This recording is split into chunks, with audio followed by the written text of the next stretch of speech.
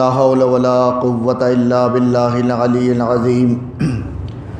حسبنا الله ونعم الوكيل ونعم المولى ونعم النصير. أعوذ بالله من الشيطان اللعين الرجيم. بسم الله الرحمن الرحيم. الحمد لله الذي لا يبلغ مدحته القائلون ولا يحصي نعماءه العادون ولا يؤدي حقه المجتهدون. الذي لا يدركه بعد الهمم ولا يناله غوث الفتن. الذي ليس لصفته حد محدود ولا نعت موجود ولا وقت معدود. فطر الخلائق بقدرته ونشر الرياح برحمته واتدى بالسخور ميدان أرضه ثم الصلاة والسلام والتحية والإكرام على نبينا ومولانا أبي القاسم محمد وآله الطيبين الطاهرين المعصومين المظلومين المنتجبين الميامين الذين أذهب الله عنكم رجس أهل البيت ويطهركم تطهيرا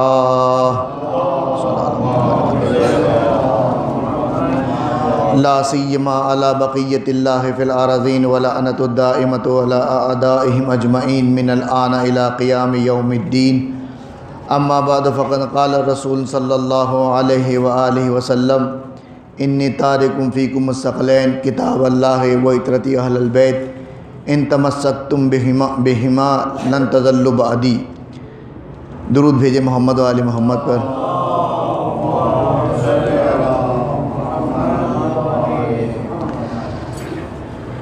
ماہ مبارک رجب المرجب شروع ہو چکا ہے۔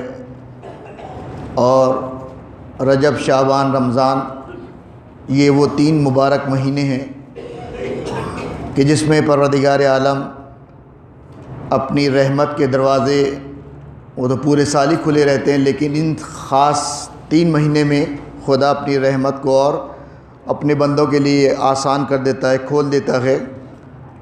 تو یہ رجب کا مہینہ برکت کا مہینہ ہے، مغفرت کا مہینہ ہے۔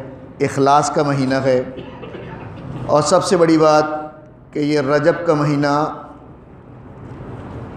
ولایت کا مہینہ ہے یعنی رجب و شعبان امامت اور ولایت کا مہینہ ہے کہ رجب میں پہلے امام مولا متقیان امیر المومنین علی ابن ابی طالب علیہ صلاۃ والسلام کی کی ولادت و سعادت ہے اور اس کے بعد شعبان میں ہمارے اور آپ کے زمانے کے امام امام زمانہ علیہ صلاۃ والسلام کی ولادت و سعادت ہے۔ تو اس اعتبار سے یہ دو مہینے جو ہیں وہ امامت کے مہینے ہیں، ولایت کے مہینے ہیں۔ اور رجب وہ مہینہ ہے کہ جس میں پروردگار عالم اس مہینے کا چاند حلول ہوتے ہی، ظاہر ہوتے ہی پروردگار عالم کی رحمت جو ہے وہ جوش میں آتی ہے اور اس طرح سے گناہ انسان کے جھڑتے ہیں کہ جیسے درخت سے پتے جھڑتے ہیں۔ اخلاص کا مہینہ ہے، استغفار کا مہینہ ہے، لیکن اصل جو آج ہمارا موضوع ہے اور جو ہماری ساری عبادت، سارے چاہے دنیاوی مسائل ہوں، چاہے اخروی مسائل ہوں، سب کا دار و مدار جس کے اوپر ہے، وہ ہے امامت۔ اور ہماری انشاءاللہ یہ جو چار درسوں کی نشست ہوگی، اس میں اسی حوالے سے گفتگو ہوگی۔ موضوع آپ لوگ کو میسج کے ذریعے سے مل گیا ہوگا کہ اہل بیت علیہ السلام یا آئمہ علیہ السلام سے تمسک کرنے کا طریقہ کیا ہے یا کس طرح ان سے متمسک ہوا جائے۔ تو اس حوالے سے گفتگو کرنی ہے۔ اور یہ اس مہینے کے لیے موضوع اس لیے چنا گیا کہ پورے سال جو آپ کرتے ہیں، اس کے لیے آپ کو اپنے ایفرٹس لگانے پڑتے ہیں، محنت زیادہ کرنی پڑتی ہے۔ لیکن رجب وہ مہینہ ہے کہ جس میں پروردگار عالم تو ویسے ہی رحمت کے دروازے کھولے بیٹھا ہے۔ خالی ایک استغفار کہنے پہ وہ سارے کے سارے گناہ معاف کرنے کو تیار ہے۔ وہ ایک مرتبہ سورہ اخلاص پڑھنے پر جو ہے وہ آپ کو آپ کی زندگی میں رحمت و برکت نازل کرنے پہ تیار ہے۔ تو اس مہینے اس چیز کو فوکس کیا جائے، اس چیز کو سمجھا جائے اور اس پہ اپنے ایمان اور عقیدے کو مضبوط کیا جائے کہ جس پر ساری شریعت کا دار و مدار ہے۔ اور یہ موضوع اس مہینے کے لیے اس لیے انتخاب کیا گیا ہے کہ یہ آج کل کا جو زمانہ ہے نا، یہ انتہائی خطرناک زمانہ ہے۔ اس میں کوئی چیز خالص نہیں ہے یا کوئی چیز اپنی حقیقت پہ باقی ہی نہیں ہے۔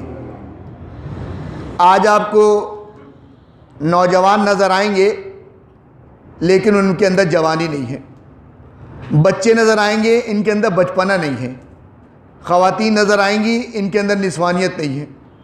مرد نظر آئیں گے، مردانگی نہیں ہے، بوڑھے نظر آئیں گے سینیارٹی نہیں ہے، سنجیدگی نہیں ہے کہ جیسے پہلے ہوتی تھی۔ حتیٰ کھانے پینے کی چیزوں میں آپ دیکھ لیں۔ آپ جو یہ گھر کے اندر چائے بناتے ہیں، جو یہ دودھ لے کے آ کے اس کے اندر ڈالتے ہیں، یہ دودھ بھی اصلی دودھ نہیں ہے۔ یہ وائٹر ہے۔ یہ چائے کو سفید، چائے کو کے کلر کو تبدیل کرتا ہے، یہ دودھ نہیں ہے۔ تو جب کھانے، پینے کی چیزوں میں اس طرح کی ملاوٹ ہے، رشتے ناتوں میں اس طرح کی اثرات آ گئے ہیں، تو یہی اثرات ہماری معنوی زندگی میں بھی آ گئے ہیں کہ آج ہم دیندار بھی ہیں، آج ہم پہلے سے زیادہ نمازی بھی ہیں، آج ہم پہلے سے زیادہ زیارت پہ بھی جا رہے ہیں۔ لیکن کس چیز کی کمی ہے کہ نماز زیادہ ہونے کے باوجود بھی پہلے جیسا ایمان نہیں ہے؟ کثرت سے زیارت پہ جانے کے باوجود آئمہ علیہ السلام کے بارے میں وہ عقیدہ نہیں کہ جیسے پہلے کے ہمارے بزرگوں کا ہوا کرتا تھا کہ بغیر کتاب پڑھے اتنی زیادہ مجلس بھی نہیں سنتے تھے، لیکن عقیدے کے معاملے میں بہت سخت ہوا کرتے تھے۔ تو یہ وجوہات کیا ہیں؟ وہی وہی چیزیں ان درسوں میں بیان ہوں گی کہ عقیدہ دین دو چیزوں پہ منحصر ہے نا۔ ایک ہے عقیدہ اور ایک ہے عمل۔ عقیدہ اور عمل کے لیے مولا متقیان امیر المومنین علیہ السلاۃ والسلام ارشاد فرماتے ہیں کہ عقیدے کی نسبت عمل سے ایسی ہے کہ جیسے سر اور بدن کی نسبت۔ اگر اس جسم کے اوپر سر نہ ہو تو آپ پہچان نہیں سکتے کہ یہ کس کا بدن ہے۔ اسی طرح عقیدہ و عمل میں عقیدہ سر کی مانند ہے اور عمل جو ہے وہ جسم کی مانند ہے۔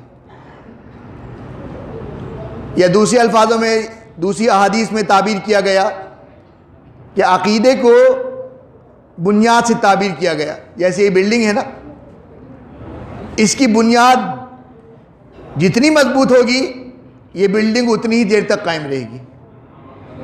اس کو جتنا اونچا بنانا تھا، اسی حساب سے اس کی بنیاد کو گہرا کیا گیا۔ تو عمل کا دار و مدار عقائد کے اوپر ہے۔ عمل کتنا ہی زیادہ کیوں نہ ہو جائے، لیکن اگر عقیدہ صحیح نہیں ہے، تو وہ عمل جو ہے وہ خود احادیث میں آپ نے پیغمبر کی سنا ہے نا؟ کہ اگر کوئی شخص جو ہے وہ رات بھر نمازیں پڑھتا ہو، کوہ احد کے برابر جو ہے وہ سونا و چاندی رائے خدا میں خیرات کرتا ہو، لیکن جو ہے وہ علی کی ولایت کا منکر ہو تو اس کی ساری عبادت کو اس کے منہ کے اوپر مار دیا جائے گا۔ تو یہ عقیدہ جو ہے وہ اہمیت رکھتا ہے عمل کی نسبت۔ اب جب عقیدے کی بحث آتی ہے تو یہ وہ مجمع ہے کہ جو کوئی عام مجمع تو ہے نہیں۔ سارے بچے مدرسوں میں جاتے ہیں، سارے بزرگ جو ہیں یا ہماری عمر کے جو لوگ ہیں، سارے مجالس و درسوں میں جاتے ہیں۔ سب کو پتہ ہے کہ اصول اصول دین کتنے ہیں پانچ ہیں؟ توحید، عدل، نبوت، امامت، قیامت۔ لیکن ان پانچوں میں سب سے زیادہ اہم جو ہے اچھا اہم میں اس اعتبار سے نہیں کہہ رہا، منزلت کے اعتبار سے نہیں کہہ رہا۔ منزلت کے اعتبار کی اگر بات کی جائے تو توحید سے زیادہ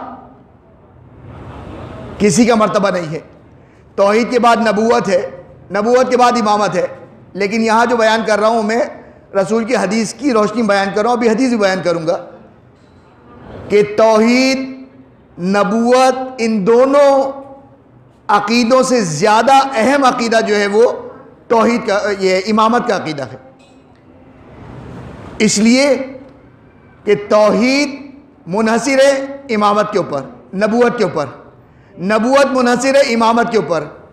اگر امامت کا عقیدہ گڑبڑ ہو جائے تو نبوت کا عقیدہ بھی خراب ہو جاتا ہے، توحید بھی خراب ہو جاتی ہے۔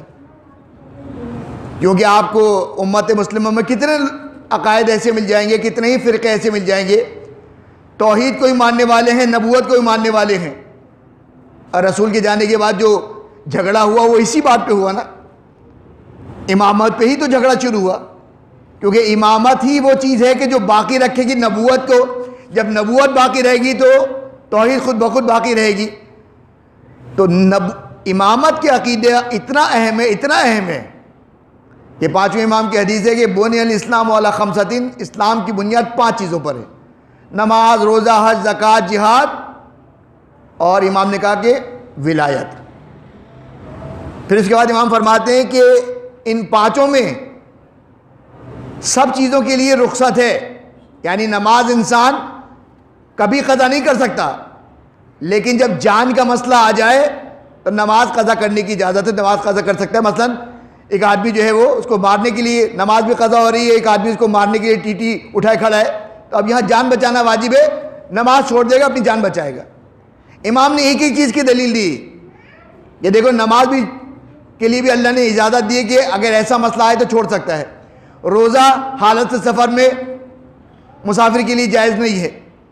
امام نے ایک ایک چیز کی علت بیان کی لیکن امام نے کہا لیکن امامت ایسا رکن ہے کہ جس پر اللہ نے ایک لہجے کے لیے اجازت نہیں دی کہ امامت کے اوپر کمپرومائز کر لیا کہ نہیں کیا کہ کم امامت چھوڑ دو، بعد میں اس کے اوپر عقیدہ لے آنا۔ نہیں، امامت اتنا اہم ہے کہ توحید کو بتانے والے رسول خدا کی ذات تھی۔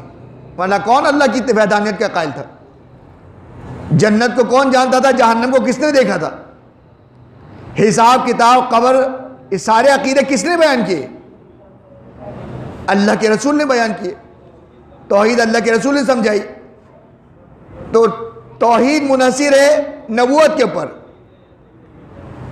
نبوت منحصر ہے امامت کے اوپر۔ تو توحید کو تو اللہ کے رسول نے بچا لیا۔ نبوت کو مولا کائنات نے بچا لیا۔ امامت کو کس نے بچایا؟ کیونکہ اگر امامت نہ ہو تو نہ نبوت رہے گی، نہ توحید رہ پائے گی۔ تو امامت کو بچانے والی فاطمہ زہرہ سلام اللہ علیہ کی ذات ہے اور انہی کے ذریعے سے جو ہے قیامت تک کے لیے امامت کے سلسلہ چلا۔ تو امامت کا سلسلہ نہیں چلا، بلکہ توحید کے اس بات کا اور توحید کے وجود کا، نبوت کے قیام کا سلسلہ جو باقی رہا، وہ امامت کے ذریعے سے رہا اور امامت کو بچانے والی شہزادی کون ہے؟ ان کی ذات ہے۔ تو امامت کا مرتبہ امپورٹنس اتنی زیادہ ہے کہ جس کی آپ کو میں آپ کے سامنے میں نے دو چار مثالیں پیش کی، لیکن آج سب سے بڑا مسئلہ یہی کہ عقائد میں امامت کے اوپر یا بیان کم ہوا ہے ممبروں سے، یا بیان ہوا تو چونکہ مجالس پڑھنے کا انداز دوسرا ہوتا، اس میں دوسرے انداز سے بیان ہوا۔ تو جس طرح امامت کا عقیدہ مضبوط ہونا چاہیے تھا، اس طرح کا عقیدہ مضبوط نہیں ہو پایا۔ یہی وجہ ہے کہ آج ذرا سا کیوں مسئلہ آتا ہے، کوئی پریشانی آتی ہے، لوگوں کے عقیدے تذبذب کا شکار ہو جاتے ہیں۔ جبکہ یہی عقیدہ وہ ہے کہ آج کی جو پریشانیاں ہیں نا، چاہے دنیاوی ہوں، چاہے اخروی ہوں، آج کرونا وائرس کے چکر میں ساری دنیا پریشان ہے نا۔ عبادتیں تعطیل ہو رہی ہیں۔ کیوں؟ اس لیے کہ اجتماعی پروگرام ہوں گے، لوگ آئیں گے جراثیم لگیں گے اور جو ہے وہ اس طرح سے واقعات پیش آئیں گے، لوگوں کی ہلاکت ہوگی تو نمازیں تعطیل ہو رہی ہیں، مسجدیں بھی ایران ہو رہی ہیں، کیوں؟ اس وائرس کی وجہ سے۔ اور اسی چیز، اس طرح کی کتنی چیزیں ہماری زندگی میں آتی ہیں، آتی تھوڑی دیر کے لیے، لیکن انسان کے عقیدے کو خراب کر کے چلی جاتی ہیں۔ اگر امامت کا عقیدہ مضبوط ہونا، تو بڑے سے بڑا پہاڑ آ جائے، انسان مسکرا کے گزر جائے گا، اس کی زندگی پہ کوئی اثر نہیں آئے گا۔ کرونا وائرس لگ جانے سے اگر کوئی انسان مر جائے تو کوئی نقصان نہیں ہے۔ نقصان تو اس شخص کے لیے ہے کہ جس کا عقیدہ مضبوط نہ ہو اور ناقص العقیدے کے ساتھ دنیا میں چلا جائے، چاہے دو سو سال زندہ رکھی جائے، وہ زیادہ نقصان دہ بنسبت یہ کہ کرونا وائرس لگ جائے وہ انسان مر جائے۔ تو یہ فرصت کے اوقات ہے یہ رجب کا مہینہ ہے۔ کہ اس میں تو ویسے ہی پروردگار عالم کی رحمت جوش میں ہے۔ تو انسان ان عقیدوں پہ کام کرے، اپنے عقائد کو مضبوط کرے باقی مشکلات انہی آئمہ کے توسل کے ذریعے سے کرونا وائرس کیا چیزیں اس سے بڑے بڑی چیزوں کو جو ہے پروردگار عالم نے انہی کے ذریعے سے جو انہی کے توسل سے جو ہے وہ حل کیا۔ نہ خدا کا وعدہ جھوٹا ہے اور نہ نبی و اولاد نبی کی کوئی حدیث جھوٹی ہے۔ جو اللہ نے وعدہ کر دیا وہ پورا ہو کے رہے گا، جو آئمہ نے ضمانت دے دی وہ بھی ہو کے رہے گا۔ اور اللہ وہ ہے کہ اذا ارادہ شعین یقول کن فیکن۔ اللہ جب کسی کام کے کرنے کا ارادہ کرتا ہے تو کہتا ہے کہ ہو جا اور وہ ہو جاتی ہے۔ آج کرونا وائرس پہ سب پریشان ہیں۔ ہوائیاں اڑی ہوئی ہیں لوگوں کی۔ کیا خدا پہ سے اعتماد اڑ گئے کیا؟ ابھی آسٹریلیا کے جنگل میں آگ لگی تھی نا۔ دو مہینے لگی رہی۔ اتنا ترقی یافتہ ملک ہونے کے باوجود آگ نے بجھا پایا۔ لیکن جب مشیت پروردگار میں آگ بجھانا مقصود تھا، اللہ نے جب چاہا بادل آئے پانی برسا اور ساری آگ بجھ گئی۔ وہ ساری فائر بریگیڈ جو ہے، آگ بجھاتے بجھاتے جھلس گئی، جل گئی۔ لیکن جب اللہ کو بجھانا تھا، دو سیکنڈ میں جو ہے وہ بارش برسی اور پانی برس گیا۔ تخمینہ لگائے بیٹھے تھے کہ جتنا جنگل جلا ہے نا، اس کو دوبارہ ڈیولپ ہونے میں سال لگے گا۔ اور اللہ نے پانی برسایا، بارش برسی، اس کے بعد جنگل اسی طرح سے گروتھ اس کی شروع ہو گئی کہ جیسے پہلے ہو رہی تھی۔ اس سے پہلے بھی آسٹریلیا میں ایک واقعہ ہو چکا ہے کہ آسٹریلیا کے اندر ایک گھاس اگ گئی اور وہ گھاس اتنی تیزی سے بڑھنے لگی کہ زمین کا کوئی حصہ باقی نہیں رہتا، جہاں بھی زمین ہوتی تھی، گھاس وہاں پہ اگ جاتی تھی۔ اب فصل اگائیں تو کیسے اگائے اناج اگے تو کیسے اگے پریشان کی اس گھاس کو کیسے ختم کیا جائے؟ کاٹو پھر اگ جاتی ہے۔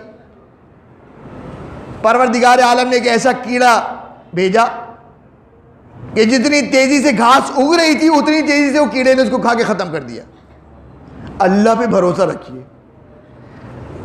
نہ کوئی جراثیم کچھ بگاڑ سکتا ہے۔ ہاں ڈاکٹرز کی بھی ہدایت پہ عمل کیجیے ایسا نہیں ہے کہ پتہ چلا یہ تقریر سننے کے بعد لوگوں نے ماسک نکال کے پھینک دیا، اس کے بعد جو ہے دھڑا دھڑا بیمار ہونا شروع ہوئے اور میرا پینا فلیک جو ہے پورے سولجر بازار میں لگ جائے کہ مولانا کی وجہ سے کتنے گھر ویران ہو گئے۔ نہیں ڈاکٹرز کی جو ہدایات ہیں اس پہ تو عمل کرنا ہی ماسک لگانا ہے۔ بیجا گھر سے باہر نہیں رہنا۔ زیادہ گیٹ ٹوگیدر نہیں کرنا کسی سے۔ اگر ہاتھ ملایا تو ہاتھ انسان دھوئے۔ وہ حفاظتی تدابیر تو کرنی ہے۔ لیکن اس کے بعد اہل بیت کے توسل سے خدا پر اعتماد کرتے ہوئے بھروسہ رکھنا انشاءاللہ کچھ نہیں ہوگا۔ کہ یہ امامت ایسا عقیدہ ہے کہ آج تو شاید میں بحث شروع ہی نہ کر پاؤں اور کیونکہ اگر شروع کر دی تو پھر کمپلیٹ نہیں ہو پائے گی اور اگلے ہفتے کوئی آئے گا، کوئی نہیں آئے گا، اس میں سے تو پھر وہ بات رہ جائے گی۔ کہ یہ امامت اتنی امپورٹنٹ اور اتنی اہم چیز ہے کہ چھٹے امام فرماتے ہیں کہ لو اجتماع الناس اللہ حب ولایت علی ابن ابی طالب.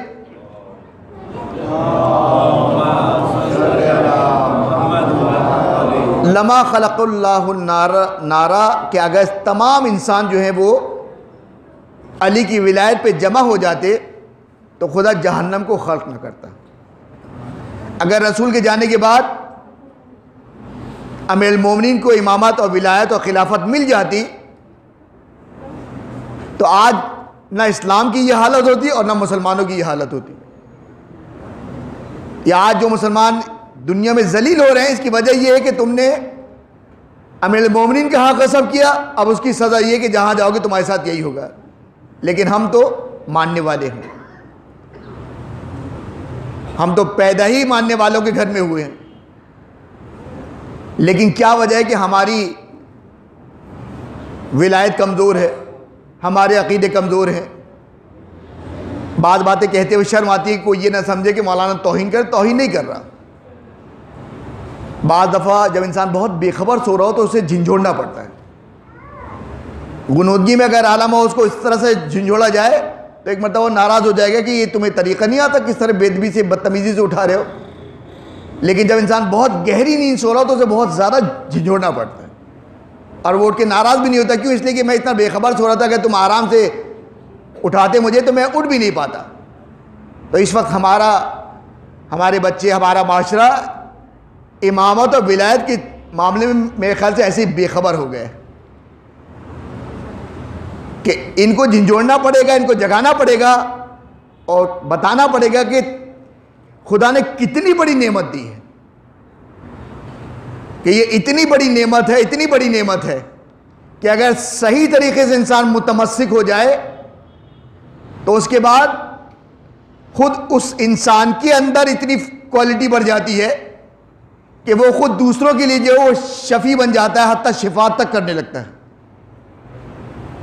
تو یہ کیسے حاصل کی جائے گی؟ کون سی چیز ہے کہ جو تمسک سے دور کر دیتی ہے۔ ہم تو چاہتے ہیں کہ اہل بیت سے متمسک ہو جائیں، لیکن ہوتے بھی ہیں، لیکن پھر جدا ہو جاتے ہیں۔ وہ کون سے اسباب ہیں کہ جن کے ذریعے سے انسان جو ہے وہ اہل بیت کی طرف متمسک ہو جاتا ہے؟ یہی چیزیں ان درسوں میں آئیں گی، لیکن آج ایک چیز کو بیان کر دوں کہ جو آپ کو حضرت عباس علیہ السلام کی زیارت میں ملتا ہے۔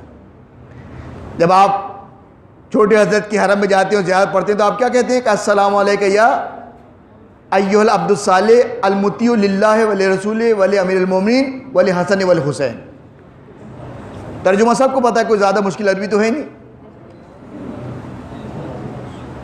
کہ جو سلام کیا جا رہا ہے، اس میں کہا کیا جا رہا ہے کہ اس پر سلام ہو، کہ جس نے اطاعت کی، اللہ کی، رسول کی، امیر المومنین کی اور حسن حسین کی۔ تمسک کے لیے۔ اگرچہ مجھے یہ تیسری تقریب میں بیان کرنا تھا، لیکن آج اس لیے بیان کر رہا ہوں کہ اب وقت کم ہے اگر سیکوینس سے چلا، تو پھر بیان نہیں ہو پائے گا اور آدھا بیان کرنا اور کوئی آئے، کوئی نہ آئے اگلی دفعہ، تو پھر ناقص بات رہ جائے گی۔ تو اس چیز کو آج بیان کر دوں کہ اطاعت۔ اطاعت کا مطلب کیا ہوتا ہے؟ اچھا تمسک کہتے کسے؟ تمسک کا لغوی معنی ہے تھام لینا، پکڑ لینا۔ یعنی اہل بیت سے تمسک کرنا، متمسک ہونا، اس کا مطلب کیا ہے کہ اہل بیت کو تھام لینا۔ اہل بیت کے دامن کو پکڑ لینا، اہل بیت کی سیرت کو پکڑ لینا، اہل بیت کے کردار کو پکڑ لینا۔ اب کوئی چیز اگر تیزی سے آپ کے پاس سے گزر رہی ہے اور آپ اس کو اگر مضبوطی سے پکڑ لیں، تو آپ بھی اس کے ساتھ ہی ساتھ جو ہے وہ جانا شروع ہو جائیں گے۔ تو جب اہل بیت سے متمسک انسان ہوتا ہے، تو اس کا مطلب ہے کہ پھر اہل بیت کے ہی رنگ میں اس کو رنگ جانا چاہیے۔ تو اس میں اطاعت کہ جو حضرت عباس علیہ السلام کی لفظ استعمال ہوا کہ عطی اللہ اللہ کی اطاعت کی، آپ نے رسول کی اطاعت کی اور امام حسن حسین کی۔ اطاعت کسے کہتے ہیں؟ اطاعت کا لفظ استعمال ہوتا ہے غلام کے لیے۔ یہ غلام کہا جاتا ہے موتی۔ اور موتی کا معنی کیا ہے؟ موتی کا معنی یہ ہوتا ہے کہ جب کوئی کسی کی غلامی میں چلا گیا، وہ اس کا موتی ہو گیا۔ موتی کا مطلب کیا ہے؟ موتی کا مطلب یہ کہ اس کو سوال کرنے کی اجازت نہیں ہے۔ ایک شخص نے ایک غلام خریدنا چاہا، بازار میں گیا۔ دیکھا، ایک آدمی اپنا غلام بیچ رہا ہے۔ پوچھا، کتنے کا ہے؟ کہا کہ اس کی قیمت یہ ہے۔ تو جو لینے گیا تھا اس نے کہا کہ اس غلام میں کون سی ایسی خاص بات ہے کہ اتنا مہنگا بیچ رہے ہو؟ جبکہ جو دوسرے غلام کھڑے ہیں وہ بھی اسی کے عمر کے ہیں، بلکہ بعض تو اس سے عمر میں بھی چھوٹے ہیں، جوان بھی ہیں۔ ان کی قیمت اتنی نہیں ہے، لیکن اس کی قیمت کیوں اتنی زیادہ ہے؟ تو بیچنے والے مالک نے کہا کہ اس کی قیمت اس لیے زیادہ ہے کہ یہ ایسا غلام ہے کہ جو اپنے آقا کو کبھی شکایت کا موقع نہیں دیتا۔ اور کمال کی غلامیت اس کے اندر ہے۔ اس نے کہا، ٹھیک ہے، کتنی قیمت ہے؟ کہا، اتنی کہا بازار سے زیادہ قیمت ہے۔ کہا ٹھیک ہے، لے لو۔ پیسے دے کے گھر لے گیا۔ اس کو دھوپ میں کھڑا کیا، خوب مارا خوب مارا۔ دیکھا، یہ کچھ کہی نہیں رہا۔ کھانا بھی نہیں دیا، دیکھا، کچھ کہی نہیں رہا۔ بالآخر نئے مالک کو بھی تجسس ہوا کہ یہ آخر کیسا انسان ہے؟ کم سے کم کم سے کم مار کھانے بھی تو پوچھے نا کہ ابھی تو لے کے آیا ابھی تو میں نے کوئی کام بھی نہیں کیا، کوئی غلطی بھی ساتھی نہیں، اور یہ پٹائی کیوں شروع کر دی؟ اور سزا کے طور پہ جو کھانا نہیں دیا تو کوئی وجہ ہونی چاہیے نا، کھانا بھی نہیں دیا۔ لیکن یہ تو ایسا شخص ہے کہ پٹ بھی گیا، نہ اس نے آواز بلند کی، کھانا نہیں دیا، اس نے پلٹ کے بھانگا تک نہیں۔ اس نے کہا کہ اے شخص میں نے تجھے بغیر کسی وجہ کے اتنا مارا اتنا مارا۔ تو نے اف تک نہیں کی۔ میں نے تجھے بیجا کھانا بھی بند کر دیا، تجھے کھانا بھی نہیں دیا۔ لیکن تو نے اف تک نہیں کیا۔ سوال تو تو کر سکتا تھا نا۔ تو اس شخص نے کہا کہ میں تیرا غلام ہوں۔ تو میرا آقا ہے۔ میرا یہ حق نہیں ہے، میرا یہ رائٹ نہیں ہے کہ میں تجھ سے سوال کروں کہ مجھے مارا کیوں؟ مجھے کھانا کیوں نہیں دیا؟ تو اس کے مالک نے کہا کہ تیرے مالک نے صحیح کہا تھا کہ اس غلام کی جو خصوصیت ہے وہ دوسرے غلاموں کے اندر نہیں ہے۔ اطاعت اسے کہتے ہیں۔ کہ تمسک حاصل کرنا ہے تو اہل بیت کی اطاعت کرنی پڑے گی۔ اطاعت ایک تو مثال یہ دے دی اور دوسری اطاعت کے لیے مثال دی جاتی پانی کی۔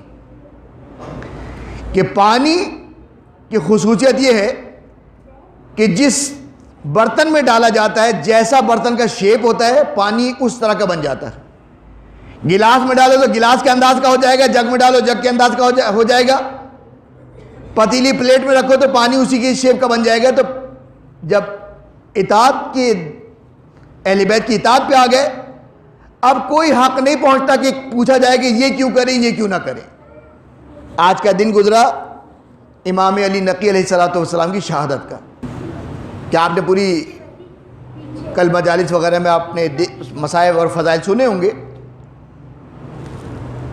ان کے حوالے سے واقعہ پیش کرنا ہے، جو ہمارے موضوع سے مطابق ہو جائے گا۔ اور اس کے بعد جو دوسرا واقعہ بیان کرنا ہے، وہ اس لیے کہ واقعات خالی قصے کہانی سنانے کے لیے نہیں ہوتے۔ کہ ایک واقعہ پڑھ دیا گیا آپ نے بھی سن لیا، ہم نے بھی سن لیا، پڑھنے والے نے بھی جوش میں پڑھ دیا، نیچے والوں نے واہ واہ کر دی، مجلس گرم ہو گئی۔ نہیں، واقعہ اس لیے نہیں ہوتا، قرآن نے بھی جو واقعات کو نقل کیا ہے نا، وہ اس لیے کہ عبرت کے لیے۔ بنی اسرائیل کا واقعہ اس لیے نہیں جگہ جگہ بیان ہوا تاکہ قرآن تھوڑا سائز میں بڑا ہو جائے۔ ورنہ دو صفحے کا ہوتا تو کہتے ہیں کہ اللہ کو کچھ پتہ ہی نہیں تھا، دو صفحے کتاب بھیج دی۔ تو اللہ نے قرآن موٹا کرنے کے لیے نہیں، بنی اسرائیل کا قصہ جگہ جگہ بیان کیے، عبرت کے لیے بیان کیے۔ امام علی نقی علیہ السلام کی شہادت کا آج دن گزرا۔ کہ جب آئمہ کو مانتے ہیں، تو یہ آئمہ کی صفت ہمارے درمیان ہونی چاہیے۔ انسان کتنا ہی بڑا عابد ہو جائے، کتنا ہی بڑا زاہد کیوں نہ ہو جائے، لیکن ایک عبادت ایسی ہے کہ جو انسان کی ساری عبادتوں پر بھاری ہے، وہ ہے کہ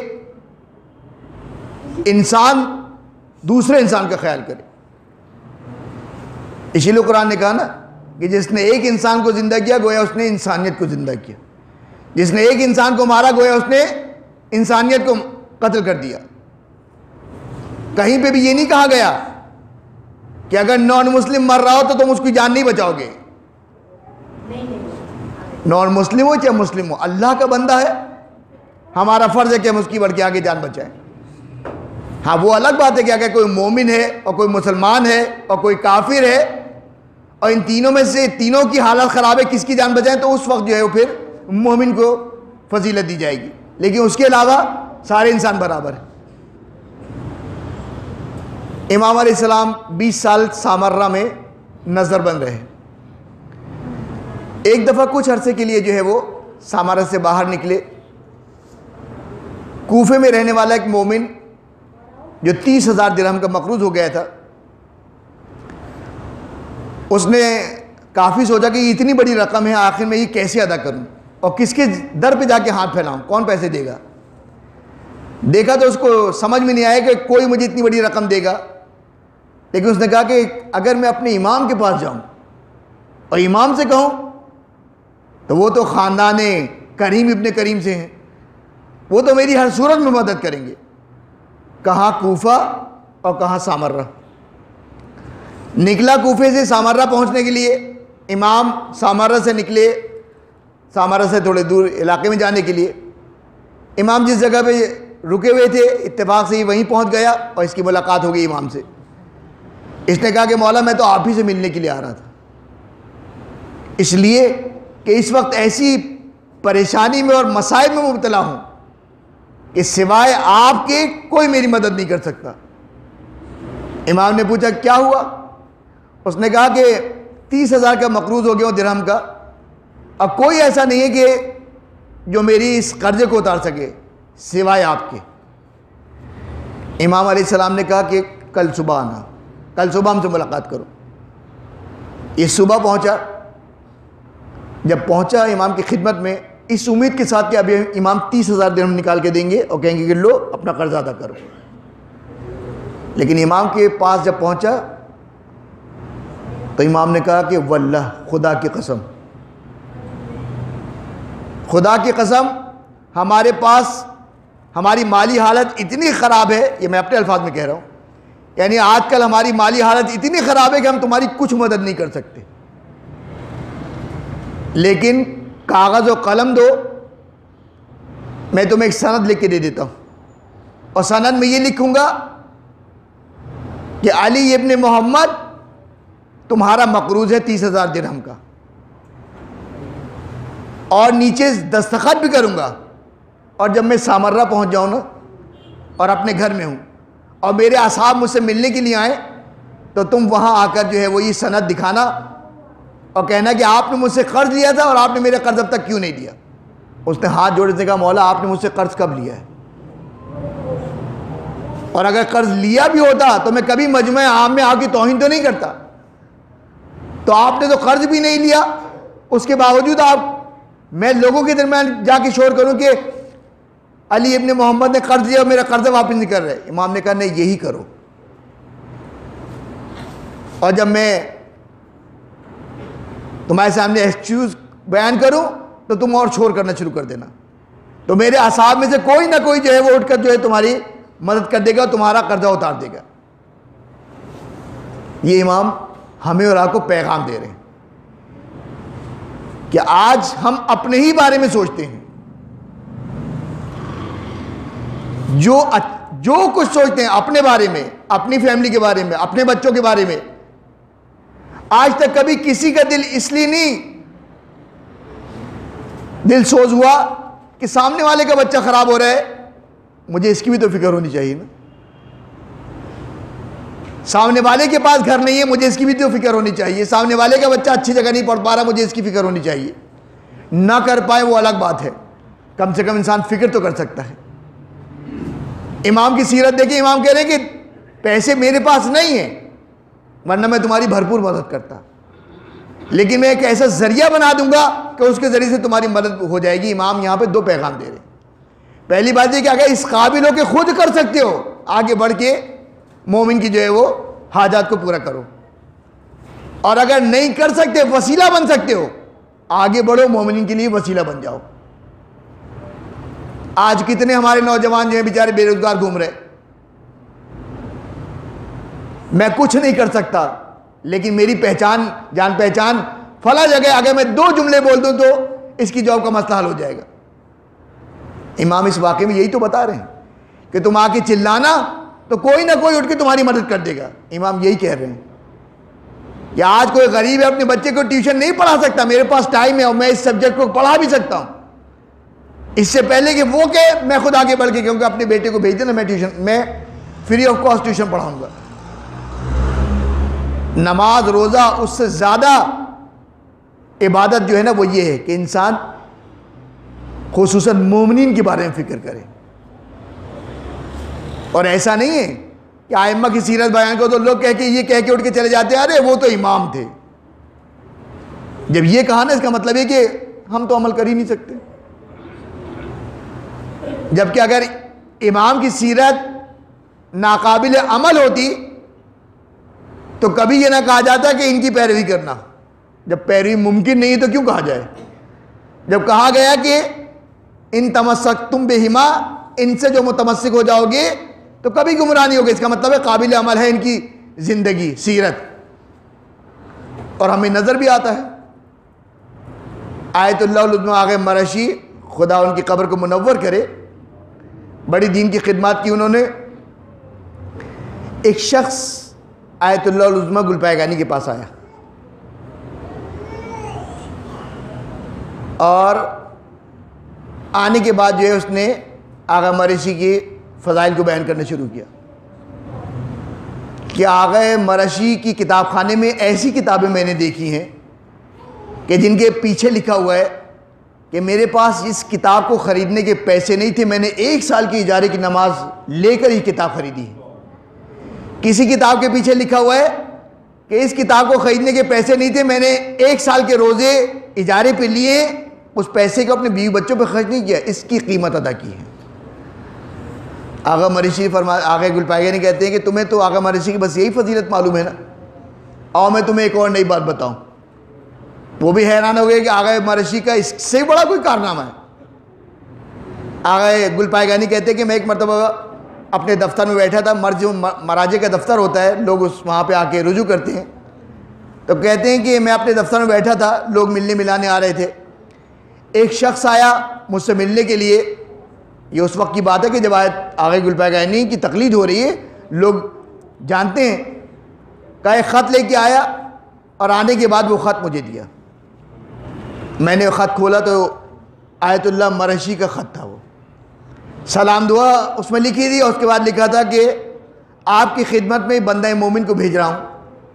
اس کو ایک سال کی نماز اجارے پر دے دیں اس کو پیسوں کی ضرورت ہے، ایک سال کی نماز کو اجارے پر دے دیں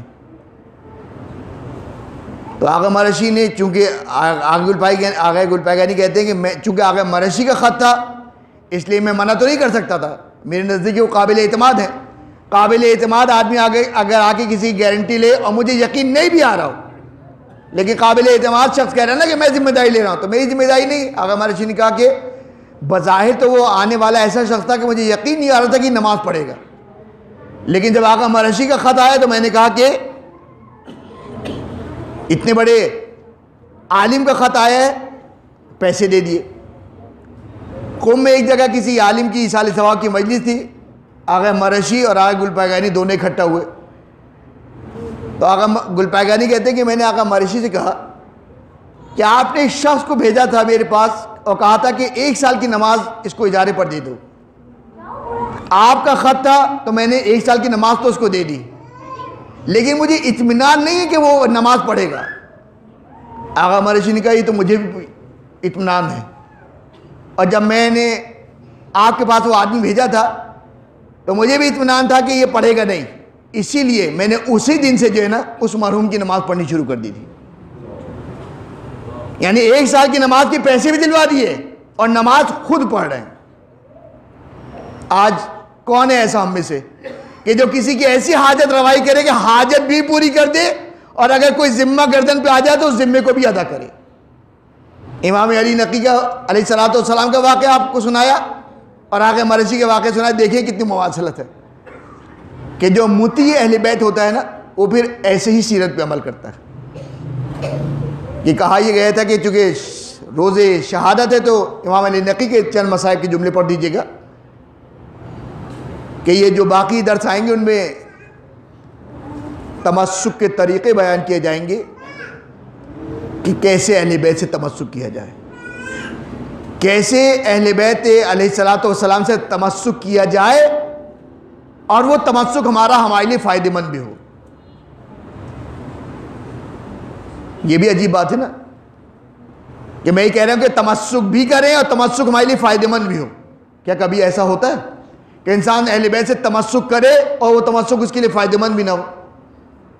ایسا ہوتا ہے انشاءاللہ اگلی مجلسوں میں، درسوں میں یہ بات آئے گی۔ کہ ہر خوشی ہر غم میں اہل بیت کے کو ساتھ رکھیے، اہل بیت کے ساتھ رہیے۔ آج ہر گھر پہ موت منڈلا رہی ہے نا، کس کو کرونا وائرس لگ جائے؟ واقعی خطرناک چیز ہے نا، وبائی امراض ہے۔ کسی ایک کو اگر خدا نخواستہ لگ جائے چودہ پندرہ دن کے بعد تو اس کے سمٹس ظاہر ہوتے ہیں۔ اس سے پہلے پہلے پورا خاندان، پورا محلہ جہاں جہاں وہ گیا، وہ سب متاثر ہو گئے۔ تو خدا اس عذاب سے تمام مومنین کو بچائے، لیکن ذریعہ کیا ہے؟ اہل بیت سے توسل کرنا۔ صبح شام اپنے زمانے کے امام کے ذریعے سے خدا کی بارگاہ میں اس عذاب، اس امتحان، اس پریشانی کی نجات کے لیے خالی اپنے لیے دعا نہیں کرنی، تمام مومنین کے لیے دعا کرنی۔ رجب کا مہینہ ہے، شہادتیں بھی ہیں، ولادتیں بھی ہیں۔ مجالس میں جائیں، آنسو نکلے، فوراً دعا کریں اپنے حق میں اور مومنین کے حق میں۔ میلاد میں جائیں، خوشی منائیں، اسی خوشی کے دوران جو ہے وہ اہل بیت کے توسل سے اللہ کی بارگاہ میں سب کے لیے دعا کریں۔ یا آج امام علی نقی علیہ السلام کی شہادت کا دن گزرا کہ مولا کی عمر مبارک بیالیس سال تھی۔ آٹھ سال کی عمر عمر میں منصب امامت پر فائز ہوئے اور تینتیس سال امامت کی فرض انجام دی اس تینتیس سال میں تقریباً پندرہ سال جو ہے وہ متوکل کی کا دور دیکھا ہے آپ نے کہ متوکل بنو عباس خلیفہ میں وہ منزلت رکھتا ہے کہ جو بنو امیہ کے خلفہ میں یزید کی ہے۔ تاریخ میں یزید ثانی کہتے ہیں متوکل کو، اتنا ظالم تھا یہ۔ سترہ اٹھارہ مرتبہ تو اس نے کم سے کم امام حسین علیہ السلام کی قبر کو مسمار کرنے کا ارادہ کیا اور عمل پیرا ہوا۔ کبھی نہر فرات کا پانی چھوڑ دیتا ہے تو کبھی حل چلوا دیتا ہے۔ امام علیہ السلام والسلام کے مسائب کو کیا بیان کیا جائے؟ خالی ایک جملہ ہی مسائب کے لیے کافی ہے۔ کہ ایک شخص کے لیے، ایک ماں کے لیے، خصوصاً مرد کی بات کروں، کہ ایک مرد کے لیے سب سے مصیبت کا وقت یہ ہوتا ہے کہ اگر اس کے کاندھے پہ جوان بیٹے کا تابوت ہو۔ انسان برداشت نہیں کر پاتا۔ کتنا ہی مضبوط انسان کیوں نہ ہونا بیٹے کے جنازے پہ نا سینہ کوٹتا ہوا نظر آتا ہے۔ لیکن اس سے زیادہ غیرت مند مرد کے لیے مصیبت کا وقت یہ ہوتا ہے کہ جب اس کی ناموس کی بے حرمتی ہو۔ امیر المومنین جیسا شخص فاتح خیبر و خندق بی بی کی شہادت کے بعد تیس سال روتا رہا۔ تیس سال کس بات پہ رویا میرا مولا؟ جو بی بی کی بے حرمتی کی، میرا مولا ساری زندگی اپنی زوجہ کی بے حرمتی کو یاد کر کے روتا رہا کہ کس طرح سے تماچا مارا، کس طرح سے در و دیوار۔ رسول کے جانے کے بعد نہ جانے امت نے کون سا طریقہ اپنایا کہ اہل بیت کے گھر میں اس طرح سے دروازہ توڑ کے داخل ہو جاتے ہیں۔ بہت معذرت کے ساتھ مولا کائنات سے کہ مولا آپ کے گھر میں تو یہ ہجوم ایک مرتبہ آیا ہے۔ اہل بیت میں سے خاندان اہل بیت میں چار مرتبہ یہ واقعہ ہوا ہے کہ اہل بیت کے گھر میں بغیر اجازت کے رسول کا کلمہ پڑھنے والے گھس گئے ہوں۔ پہلا واقعہ رسول کے انتقال کے بعد بی بی فاطمہ کے گھر پہ داخل ہوا یہ مجمع کہ نہ کوئی اجازت، نہ کوئی اطلاع، اس کے بعد بغیر کسی اس کے جو ہے وہ سب داخل ہو گئے۔ اور دوسری مرتبہ کربلا کے اندر تھا کہ امام حسین کی شہادت کے بعد ایک مرتبہ مجمع داخل ہوا اور سارے خیموں کو جلا دیا اور بیبیاں، محمد کی بیٹیاں کربلا کے میدان میں بکھر گئیں۔ اور تیسرا مورد امام علی نقی کا گھر ہے کہ جہاں پہ عباسی خلیفہ معتز کی اجازت سے کم سے کم بیس مرتبہ جو ہے مولا کے گھر پہ چھاپے مارے گئے ہوں گے۔ اور اس کے بعد امام حسن عسکری صلی اللہ علیہ وسلم کے گھر۔ کہ جب امام کی شہادت ہو گئی گیارہویں امام کی تو امام زمانہ کو ڈھونڈنے کے چکر میں امام حسن عسکری صلی اللہ علیہ وسلم کے گھر کے اوپر ڈھاوا بول دیا گیا۔ سارے فوجی گھر کے اندر گھس گئے، یہ بھی خیال نہیں کیا کہ محمد کی بہو اس گھر کے اندر رہتی۔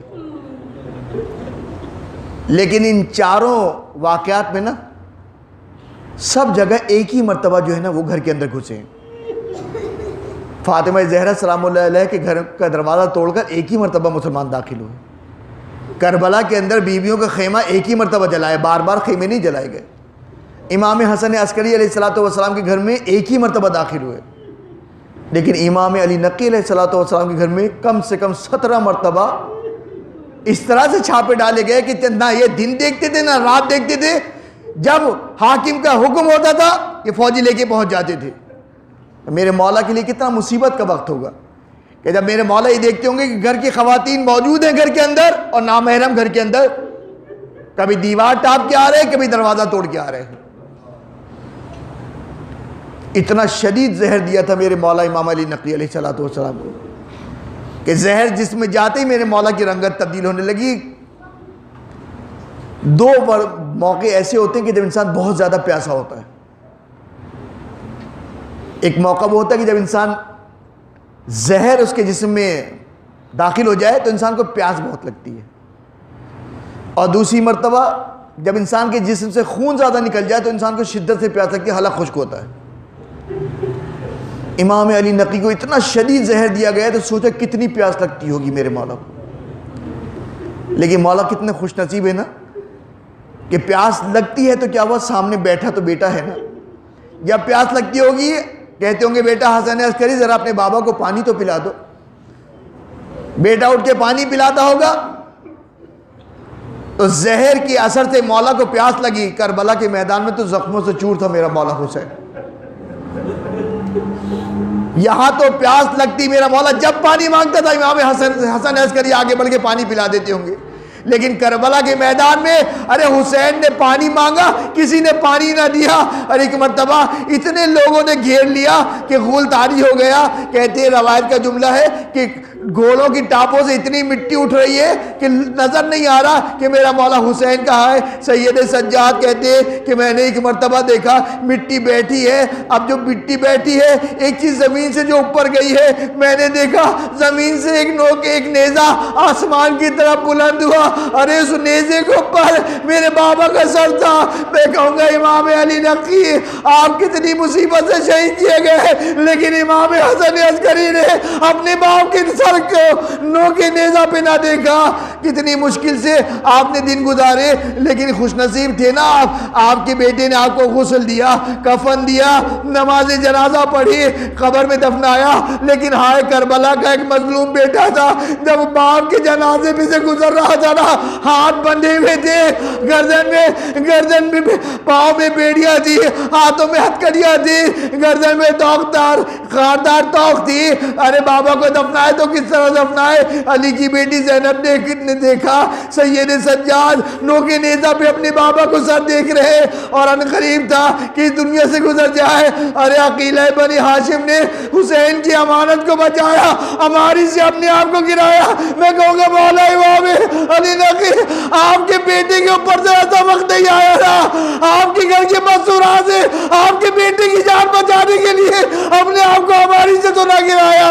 لیکن آئے کربلا کے میدان میں ایک بیٹا ایسا تھا جو اپنے بابا کو نہ دفنا چکا۔ میں کہوں گا، مولا، آپ کتنے خوش نصیب تھے نا۔ آپ کو کفن نصیب ہوا، غسل نصیب ہوا دفنا بھی دیا اور دفنایا بھی تو اپنے گھر میں تھا نا۔ جب پہلی رات آئی ہوگی تو اسلام میں ہے نا۔ پہلی رات آئے، قبر پہ جاؤ، چراغ جلاؤ اور سود یاسین پڑھو۔ تو قرآن پڑھو۔ اس لیے کہ مردہ تنہائی میں پریشان ہوگا۔ میں کہوں گا، مولا علی نقی، آپ تو قبر کے اندر ہوں گے، لیکن جوان بیٹا سرانے بیٹھا ہوگا، ایک چراغ جلائے بیٹھا ہوگا، قرآن سامنے کھول کے قرآن کی تلاوت کر رہا ہوگا۔ لیکن کربلا کے میدان میں ایک لاشا ایسا تھا جو زیر آسمان تھا، قبر میں بھی نہ تھا۔ قرآن تو چھوڑے، کوئی سورہ فاتحہ پڑھنے والا نہ اللہ ولعنت اللہ القوم الظالمین وسیعلم الذین ظلموا ایام انقلب ینقلبون۔ پروردگار، ہماری اس قلیل سی عبادت کو قبول فرما۔ ہمارے ان آنسوں کو رمال زہر میں جگہ عطا فرما۔ پالنے والے تجھے واسطہ محمد وال محمد کا۔